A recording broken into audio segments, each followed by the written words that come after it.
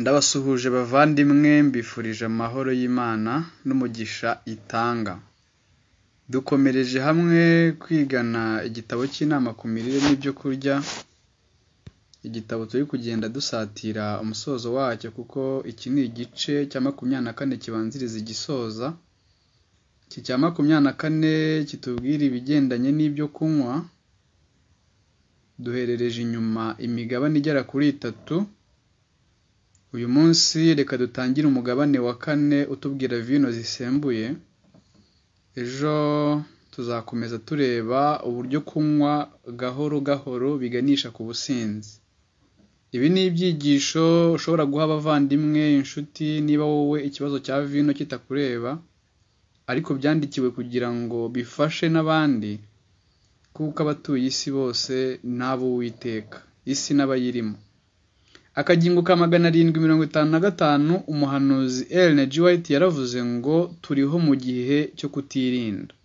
Abanywi ba vino zisindisha bamaranira guhaza irari bagacumura ku Mana. Mwifatanyije n'abandi muri uwo murimo kuko mwanze gukurikiza umucyo. Iyo muza kwemera umucyo ntimwari kuba cyangwa ngo mushobore gukora bene nk'ibyo. Uwagize uruhare wese mu gukora umurimo nk'uwo azagerwaho n'urubanza rw'Imana, keretse abaye ahinduye rwose iyo mikorere. Mukwiriye rwose kuba maso. Mukwiriye gutangira umurimo wo kweza imitima yanyu ikarindwa gucirwaho iteka.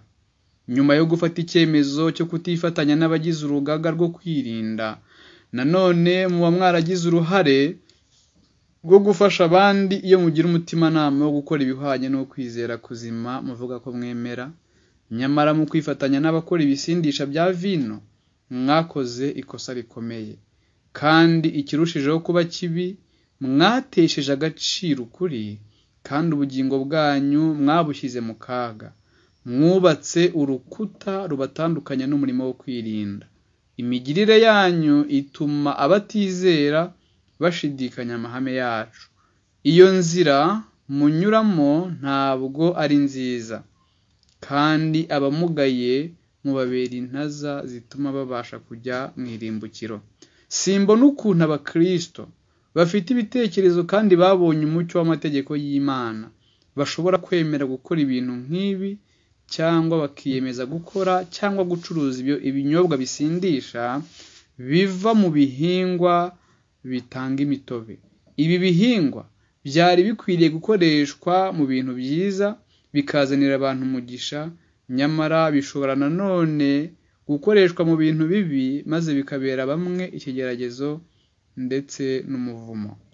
Asoza avuga ngo vino cyangwa ibitoki bibasha gutarwa bikiri bizima kandi bigakomeza kugira uburyohe bw'umutobe mu gihe runaka, ariko iyo bibitswe ahantu bidashobora gushya ntibyabasha kwangiza intekerezo z'abantu. Reka rero iyi ngingo uyu munsi tuyisubikire aha, ejo tuzareba ibyerekeranye no kunywa gahoro gahoro, uburyo ari inzira iharuye rwose yerekeza abantu mu businzi.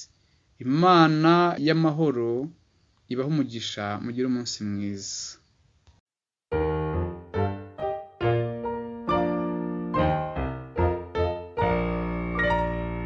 Jesus.